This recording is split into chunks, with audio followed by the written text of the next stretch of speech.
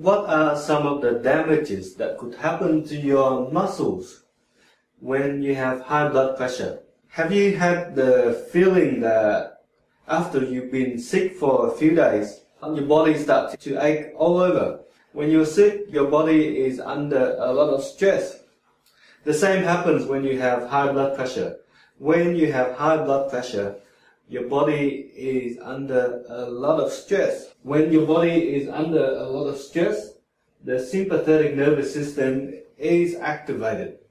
And when the sympathetic nervous system is activated, you have more blood flow towards your muscles. So your muscles are all pumped up and they also are more toned, more tense to prepare yourself for the fight and flight response. The problem is, even though your body is all prepared, you're not actually doing any work.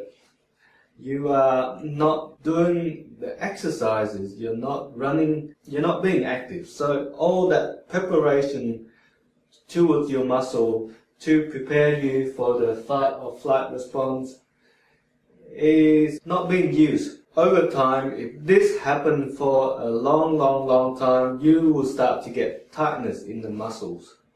And common areas are the neck and the shoulder areas. If you feel around, you will actually feel knots all over your muscles, along the neck and the shoulder. Another common area is your lower back, your hips.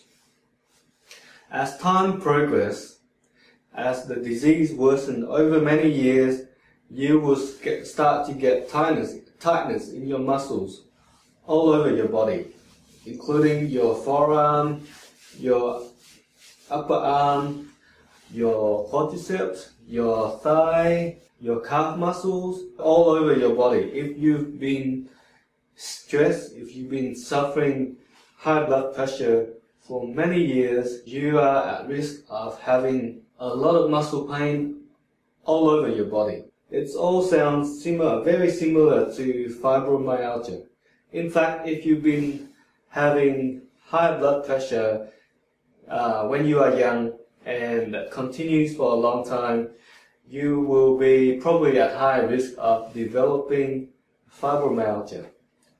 That is when you have pain all over your muscles. That are some of the damages that could happen to your muscles when you have high blood pressure.